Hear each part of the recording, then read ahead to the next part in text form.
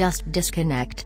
Once in a day sometimes, sit silently and from all connections disconnect yourself.